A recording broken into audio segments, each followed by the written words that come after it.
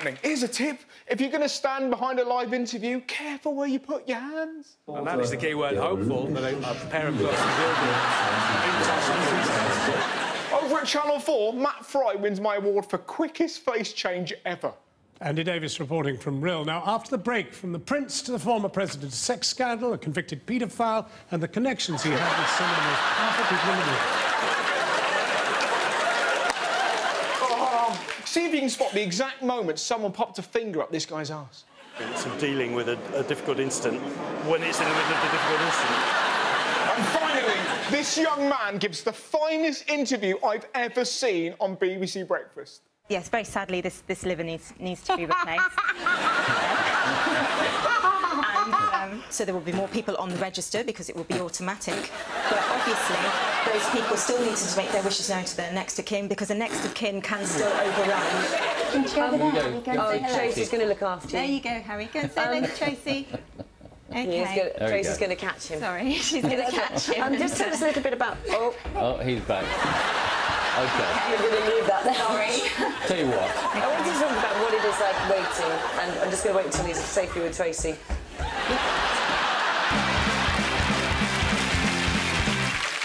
Now, the big news of the week was definitely this. MPs have voted in favour of launching airstrikes against the so-called Islamic State in Syria. Within an hour of MPs approving operations, the RAF had dispatched jets from their base in Cyprus. 67 Labour MPs defied their party leader Jeremy Corbyn and voted with the government. Corbyn lost his battle with Cameron to not bomb Syria after a heated debate with Labour MPs. How angry were they? Ridiculously so. Look at this. Apparently, some of his MPs were so angry they had to be scraped off the ceiling. Jesus! I am livid! Cover me in superglue and fetch my trampoline! Our politicians shouldn't be angry. They should be calm. The world is so tense at the moment. I mean, did you see what Turkey did? A Russian fighter jet has been shot down by Turkish forces along its border with Syria. What are you doing, Turkey? Don't start on Russia. That's like Warwick Davis flicking an orc in the bollocks. Just calm down. Do you know what I mean, though? Do you know what I mean? Did you see how long they waited before they shot the plane down? The Russian jet was in Turkish airspace for just 17 seconds. 17 seconds? I've done farts longer than that. what were they thinking? Mr. President, there's been a Russian plane in our airspace for 12 seconds. Shall we blow it out of the sky and potentially start World War III? Whoa, no! Everybody calm down! Give it five more seconds. We don't want to come across as crazy. All the people to wind up. Why would you pick on Vladimir Putin? He's not exactly balanced. Or, as this guy puts it, Putin's a nutter. damn right he is. What other leader goes to the UN and gives himself a strangle wank?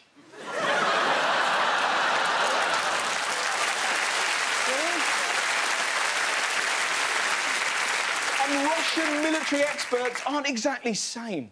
They should level the score and maybe teach Turkey a lesson and shoot down a Turkish plane in response. That's how wars start, though, isn't it? That could lead to an escalation. Do you think? The world is so messed up at the moment. Everywhere you turn, there's horror. I mean, did you see what happened in America this week? President Obama has made another call for tighter gun control following the shooting at an abortion clinic in Colorado, which left three people dead. Police say the gunman was a 57 year old man who gave himself up after a shootout with police. He's a 57 year old fuckwit. He shot, he is, he shot three people at an abortion clinic because he was pro life. How can you be pro life and shoot someone? Killing people!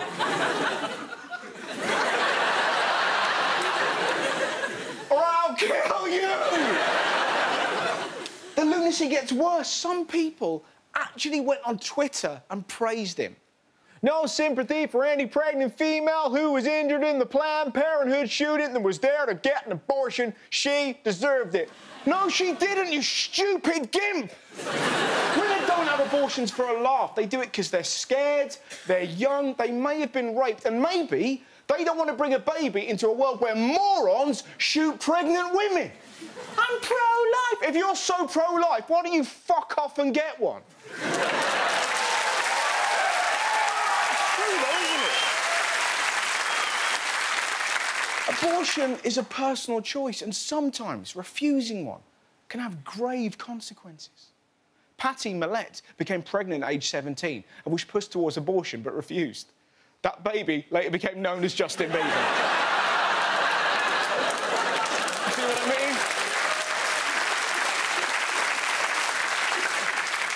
mean? Baby, baby, baby. No. Tell you I feel sorry for Obama. Every time there's a shooting, you see him on the news like a broken man. As a country, we have been through this too many times. There's nothing normal about our children being gunned down in their classrooms. Part of what makes this so painful is that we've been here before. We talked about this after Columbine and Blacksburg, after Tucson, uh, after Newtown, after Aurora, after Charleston. Look at him. Look at him. He's on the verge of tears. But what can he do?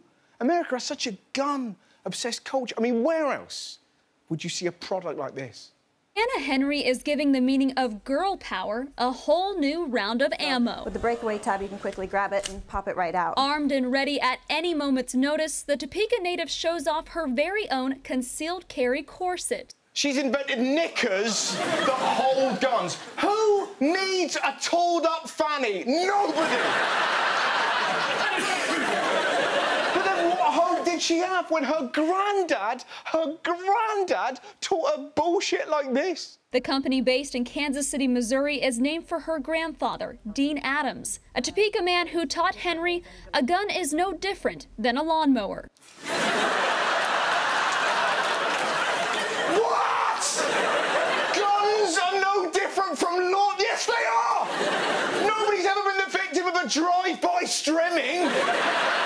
Mm, Don't see nutters going to the schools with flymos. Just come here. Come here. I can't reach you with the cable. Come here. So what else? Well, Black Friday happened. Last year, we saw this. The rush to find a Black Friday bargain descended into chaos and, in some places, violence today. The loser, a little bit of British decorum. Thousands of people punching each other for tellies. This year, not quite so chaotic. They opened early for business in Norwich, but they needn't have bothered. There wasn't a shopper in sight. You're the only one here, aren't you? Yeah. Nobody turned up. It was wonderful. Look at the plans they put in place at Debenhams.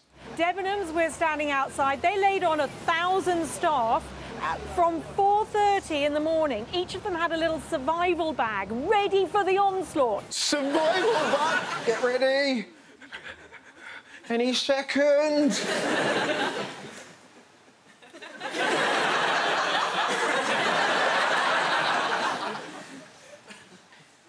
Hmm.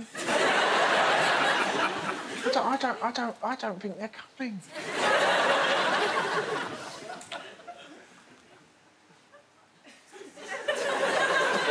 I bought a shield. We just didn't give a shit. Americans, were they excited about Black Friday? What do you think? Yeah, baby! Yeah! Yeah! Number one, yeah! Yeah! Okay, one table, table, table.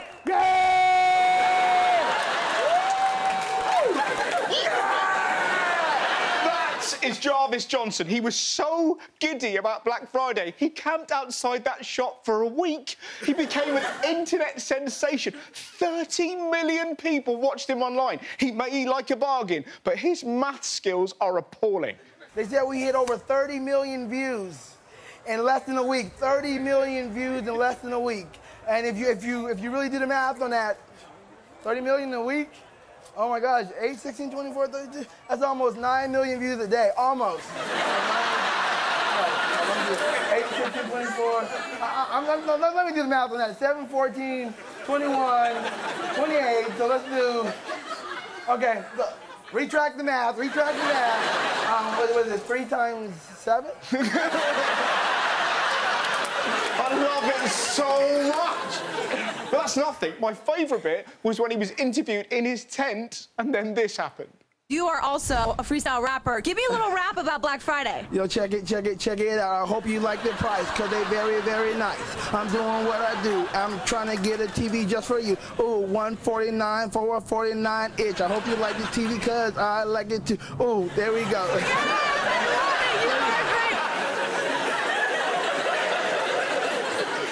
About shopping? I like shopping, check the dollar that I spend. Makes me feel like dancing in my big ass tent. People be hating like you a stupid forward. Joke's on them, I'm collecting vouchers for school.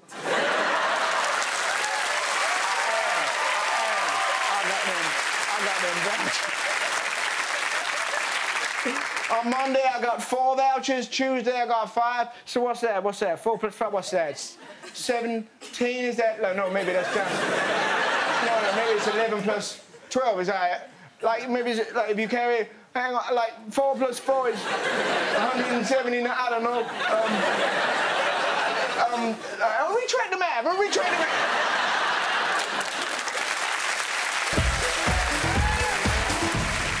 In political news, the unthinkable happened. As U turns go, it was a pretty big one. The Chancellor George Osborne has scrapped his controversial plans to cut tax credits for millions of low paid workers. So weird, isn't it? George Osborne's done something nice. the whole world's changed.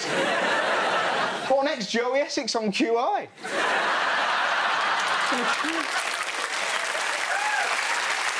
I bet you were like me.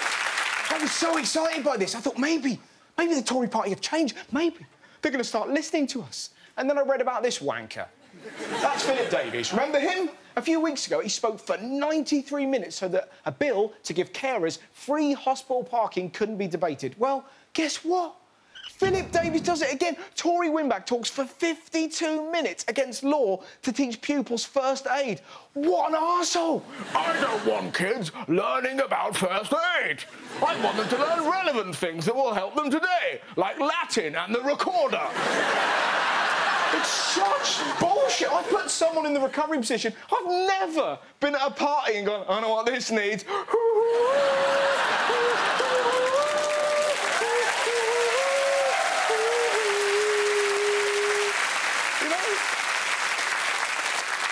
Some girl in the corner, Dominus Meus, Russell, Dominus Meus. It gets even more ludicrous. Did you see the reason why he wanted this bill blocked?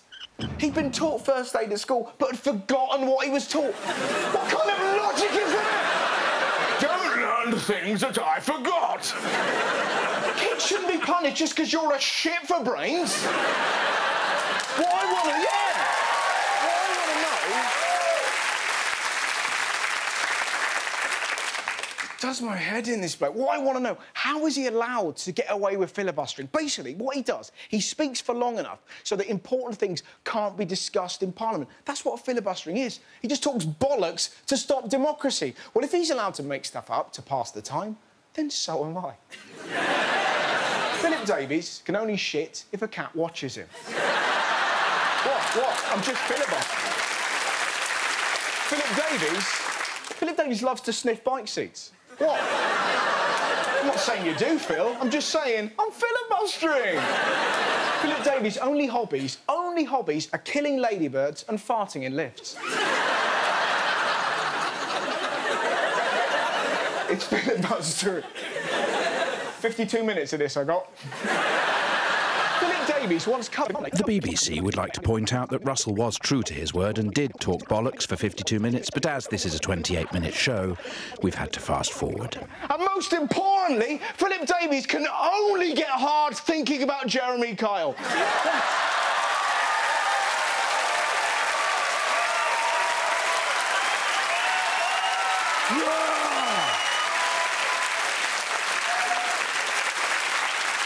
what what I'm trying to say is that filibustering shouldn't be allowed. We elect MPs to discuss things that matter to us, and this archaic bullshit has to stop. He might think he's great for droning on and on, but the edited version is far more interesting. I mean, as far as I'm concerned, I'm an idiotic arsehole.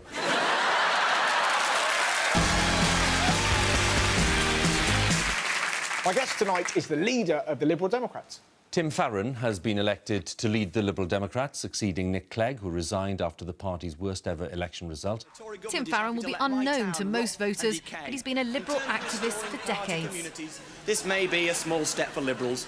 It's a giant leap for Leyland. He first stood for Parliament in 1992 against Theresa May, then worked at a university before winning in the Lake District. I am proud to be British, and I am proud of Britain's values. So when Mr Cameron turns his back on the needy and turns his back on our neighbours, I want the world to know he does not speak for me, he does not speak for us, he does not speak for Britain.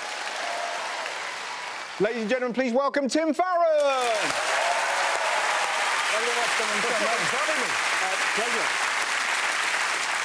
We were just chatting earlier, and uh, the last interview was it the last one you did? Was at a primary school? And there was I- a brilliant. Listen to the question he was asked by a kid. It's fantastic. They're the best best audiences anyway. So, seven-year-old uh, lad uh, said for primary school, he says, uh, "Have you met the Queen?" So, yeah. Does she smell? and the good thing is... you can't prepare for those. No, but she, fragrant is the answer, obviously. I imagine she smells of just a bit of dupe. Go on, Tim, give us a sniff. Tell me that's not just right. You were there too. Yeah, I'd, I'd sniff her. Yeah. Just Prince Philip. I smell of Lynx Africa. nice. Um, first question I have to ask you: Have you ever met Philip Davies? I have met Philip Davies. Can you do me a favour next time you see him? Just before he goes for a chat, can you put some laxatives in his drink so that he can't talk for 93 minutes? He could talk for 93 minutes, he'd just be quite messy. How do we stop it? It's one. It's, I think it's the thing that really, it really annoys me. It really pisses off the audience. But how do we stop filibustering? Because it seems so undemocratic. I mean, I, what I don't understand is why you would bother doing that, Yeah. particularly when it becomes it comes down to sort of free car parking for carers or you know first aid in schools. Surely you get involved in politics to try and make a difference and to change things, not to waste your Friday standing up to spoil somebody else's motion. Exactly, man. I will applaud that. As the leader of the of the Lib Dems, I have to ask you, how is Nick Clegg? Because an image of him and Ed Miliband just meeting up and just weeping into their tea. I, I think he's fine. I actually bumped into. Uh, uh, him and Ed Miliband talking to each other the other week, and they both Really? they both looked very relieved. Basically, Do you think? Yeah, Just I swapping think- mixtapes? I think it must be. Uh, yeah, I think that's what they do. I mean, he's all right. I saw him early, and he was fine. Good. And do you think it was a mistake to go into coalition or not? I think we made some mistakes in coalition, but I didn't join to cop out. You know, if you're involved in politics, even if you choose a difficult route, which frankly ours is, Yeah. you should want to be in power. But that's what I love about about you because. We, well, I don't mean this with any offence. It's it's very unlikely that you're going to be prime minister, but you're trying. no, no, I am but you're, trying. But you're trying so hard, and that's why I admire. it. It's. I was trying to think about what it's like, and it's a bit like my brother planning a date with Scarlett Johansson. Yeah. It's. It could You want to be happen. ready if it comes up. Correct. Yes. And that's exactly what my brother's planning. but it's never going to happen, and yet he's thinking maybe, just maybe, Yeah. I could bang Scarlett Johansson. He may, I- I- you know, and, and, and he would need to be ready should the opportunity arise. Yeah, and that's, that's how I think of you now, just readying yourself for Scarlett. I just. That's an enduring image that takes some shaking off. Uh, but I think the. Uh, It's a better way of putting it. yeah, there's Yeah. Probably a better way of putting it. Don't, don't shake it off. So I won't shake it off it off. before the date. Yeah, there you go. Right, we'll move on. Why do you think people are so disillusioned with politicians? It's a tricky one. isn't it? Uh, somebody once said um, that nothing so disillusions the voter than backing the winning candidate. Uh, in other words, your hopes, generally speaking, aren't fulfilled. Now, I try as a constituency MP to try and sort of prove that wrong by over-delivering. Yeah. Um, but, you know, so, for example, you know, uh, Justin Trudeau, the leader of the Liberal Party in Canada, just become Prime Minister of Canada, came from third place. They had a shocking election previous time. So my, you know, my hopes are very much on trying to emulate him in some way. He's got better hair and a tattoo. I can fix one of those things, but not the, uh, not the hair. Do you want to get Um, a tattoo tonight? I'll take you for a tat. Yes, wait, where, where, any advice? I get a big one on the back. Yeah? Saying says, what? Don't fuck with me. Oh, yeah, okay. okay. And every time Philly Davies gets up, I just drop my top. Yeah, yeah. that would be absolute. Oh, please. I think one of the reasons why people are disillusioned with politicians is that noise that a lot of them make in the House of Commons. That. "Ah, ah," because that, "Ah," like sounds like someone's doing something terrible to Brian Blessed, and yet but you, you never hear that noise in any other workplace. Why? Why do they do it? Because we're all watching them go, stop making that noise. Um, I've never felt so common as the day I first entered the House of Commons. Yeah. There is a sense that the House of Commons feels like a public school. Yeah, yeah. And a lot of these people, it probably reminds them of their school. And uh, they behave a little bit like they did when they were at that kind of school. Yeah. I didn't go to that kind of school. Yeah. So you should just be like sort of egging them and stuff Yeah, like we, uh, we make different noises. Uh, there you go. What noises did you make at school? Probably gobbing noises, I don't know. Um, there's no uh, easy way of twisting this, but uh, what do we do about Syria? So there's no easy answer. Because we're all terrified. Yeah, um, I spent um, uh, some time over the last few months going to some of the refugee camps Oh, uh, yeah, in yeah. the Greek islands and Calais near uh, here, um, and you meet people, families, including really small kids, who have basically fled ISIS and have fled Assad.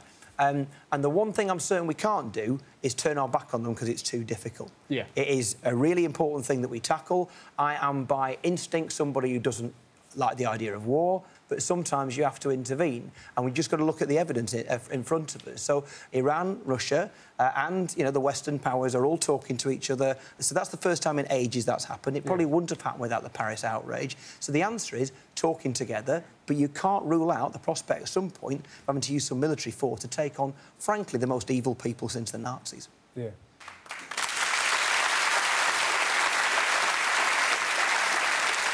Now, I've got here, I've got some audience questions. Great. So this isn't on me, this is on our audience right. here. Looking forward to it. Yep, these are going to be quick fire. Have you ever had a sexual encounter with a pig? No. no. Sorry to say, the, uh, the morning that news um, uh, arrived on our uh, TV screens um, uh, was the morning I've never felt more happy to be a vegetarian.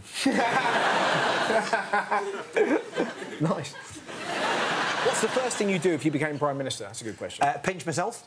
Um, uh, have a twirl around the chair a bit, probably, and uh, then I'd tackle housing crisis. You know, like, uh, let's hope to God they record that. The- the- Just so you go, ah, spinny. Spinny, Right, right, let's get serious. housing. housing. Three, one, 1.6 million people on a council house waiting list, and it's not fair. You need to build some more homes. Yeah, good man. At Christmas, this is an absolutely wonderful question. This is from Joseph. At Yeah. Christmas, you've ever put drawing pins on the benches in the House of Lords just to see 10 Lords a leaping?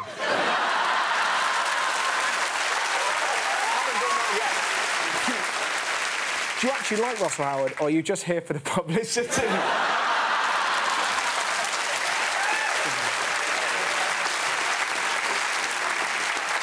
Bit, a bit of both, really. nice. Final question here. Final question here. What do you want to do with politics? Make a difference. We'll all be forgotten. If you try and set a legacy and you're trying to be remembered, it's completely vain. Yeah. It'll be in vain. You will never be remembered, but you can do some good. And providing affordable homes for people, trying to tackle climate change for our grandchildren, those sort of things, they're worth doing. Absolutely. There you go. That was an absolute treat. Ladies and gentlemen, the wonderful Tim Farron! Well, thank you. Well, thank you.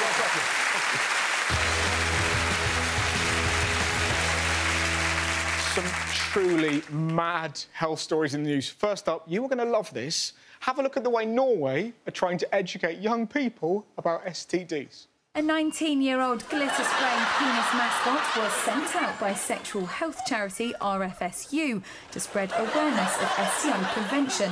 With the tagline, The Penis Can Surprise You, the campaign features a giant penis creeping up on people in parks and cafes and spraying them with a golden shower of confetti.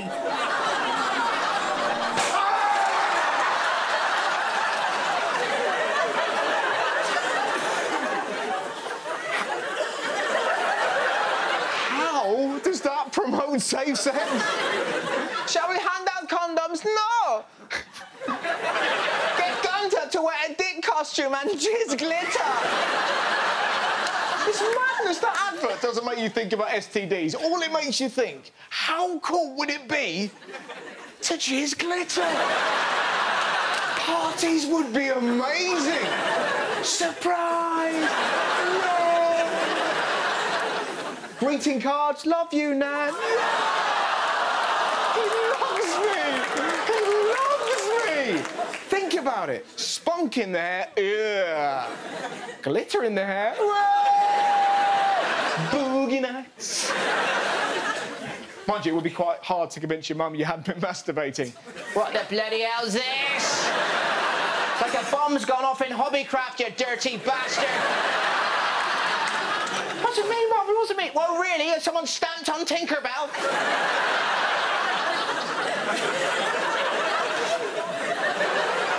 Do you know what I love the most? I love how unbothered they are. Imagine that in England. Yeah, yeah, yeah.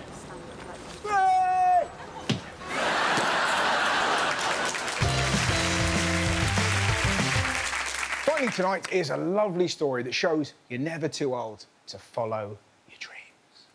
On your mark. At Lee Valley Athletics Centre on Sunday, a new world record. The fastest 200 metre runner on Earth in the over 95s category.